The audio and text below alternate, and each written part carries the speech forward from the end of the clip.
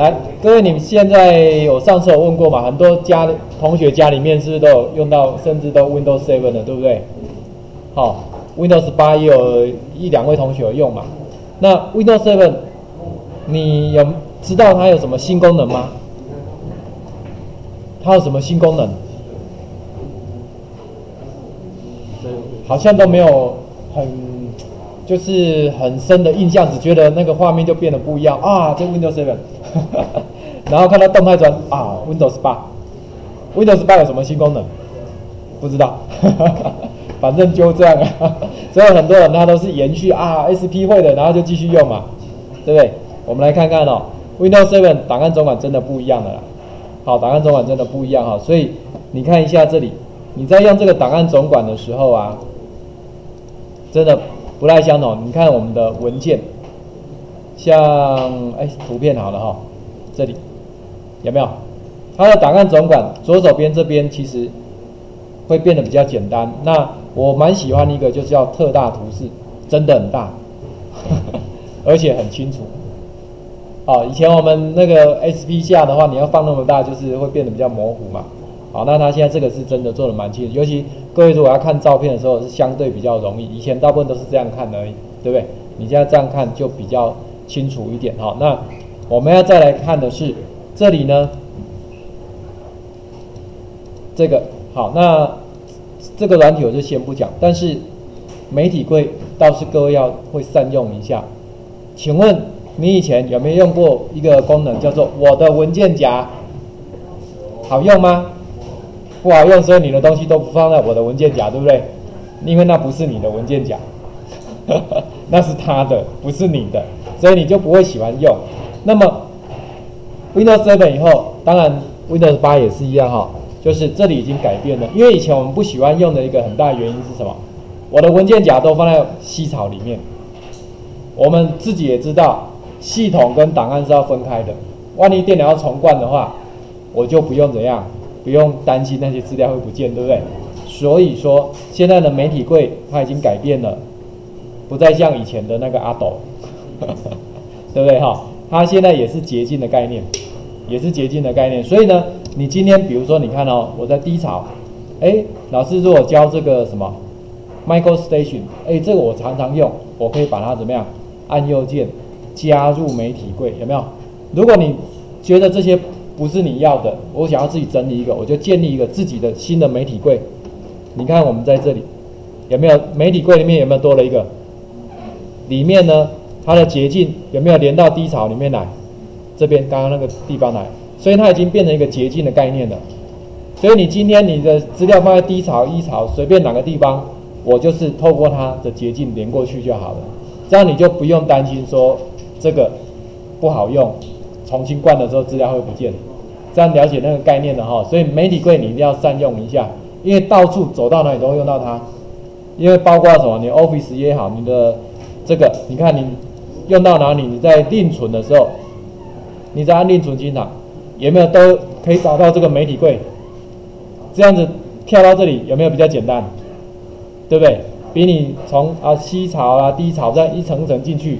容易找得多，好，所以这个是 Windows 7之后，各位你一定要会用的一个小功能，好不好？再来呢，很重要的 Windows 7有更新的，你们有没有用过电脑找资料啊？请问好用吗？不好用。如果慢，我们可以接受，但是重点是找不到就很难接受。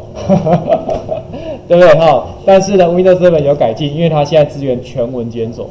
哎，你们在图书馆有没有用过什么叫全文检索？图书馆还是大家比较少用图书馆，很少对对？你看我们刚刚有没有那个电子书，可以直接打关键字就找到里面的内容？哎，那就就是全文检索的概念。因为以前我们用档案总管找，都是找什么资料夹的名称、档案名称。啊，如果找不到就算了嘛。自认倒霉啊！好，那没有关系。这个呢，你可以看一下哦，在 Windows 7里面，你可以从这里找，开始里面从这边就可以搜寻，也可以按。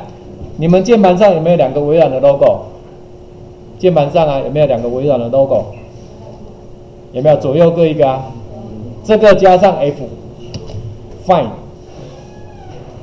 加上 F，单按微软的 logo 是不是开始的意思？对不对？你加上 F 的话，哎，就等于搜索。好，比如说我这里找一个关键字，好，刚刚我看到老师里面有一个叫下载，好，我就找看看有没有。OK，哇，哦，怎么有人？哦，这是我的，在这里找到，这是档案名称，对不对？我们再看看有没有，因为我的硬碟里面他也帮我加加进来找的哈。它的好处就是，它现在不只是只能找资料夹、档案名称，连档案的内容都找得到。哦，尤其是 Office，大家最常用就是 Office 的文件，对不对？哦，所以那里面的内容它都可以找得到的话，这样子的时候呢，你要找资料，这个体验就会比较好一点。不过有个地方要注意一下哦，它只支援什么 NTFS 档案系统。各位有没有注意过什么叫 NTFS？你有注意过你的电脑就用什么档案系统吗？没有嘛哈，反正来了就好了嘛。我们看一下，你真的可以留意一下。你在我的电脑这边看哪一个磁碟机，按右键，内容，有没有看到这里有一个叫档案系统？有没有？哎，NTFS。那有没有别的？有，比如说像各位的那个 MP3 的 player，还是那个记忆卡。有没有相机记卡或者是随身碟？好，随身碟很多是什么？FAT 三二。你等一下如果有随身碟，你可以试看看。因为我们这个搜寻它只支援什么 NTFS，因为这是微软的。那你说为什么其他人不要用？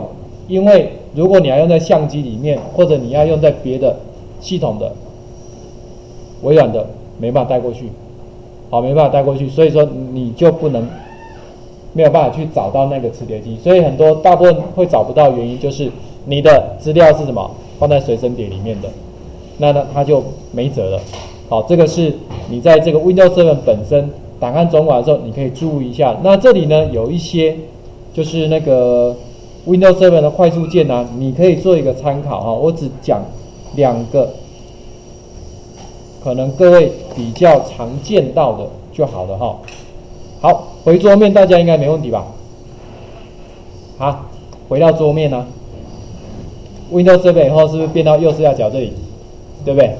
哎呀，回到这边来哈。所以呢，你如果想要回到桌面，你可以按这个什么，这个加 D。啊，哪个加 D？在这个快速键里面只有讲到一个东西，叫做微软的那个。微软按键有没有？微软的 logo 啊，你加空白或者回到桌面有有没有？回到桌面这个加 D，对不对？好，这个比较特别一点的哈，比较特别。那你如果说你的视窗，因为你们家里面的荧幕，请问是宽荧幕还是四比三？像这样四比三的，有很多人现在买的都是宽荧幕，对不对？因为现在买不到这种四比三的嘛。好，大部分嘛，那怎么办？有些时候我希望能够做。文件的比较的时候，你看，比如说我把这个文件我先缩小一下，啊，我又要看这个，请问你以前都怎么看？两个分开，然后再慢慢调整，对不对？哎，这样有点累呢。可是你可以这样，你看我拉到旁边，有没有各自一半？但是微软只做一半，因为 因为有个缺点，如果你是宽荧幕的话。一半并不好用，虽然可以比较文件，但是真正工作的时候，一半并不太够，好，不太够，最好是三分之一、三分之二。所以等一下我们有个小软体跟各位介绍哈。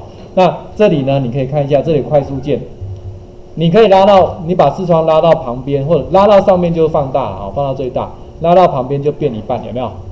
好，你也可以用方向键，Alt 加方向键，好，Alt 加这个向右，有没有？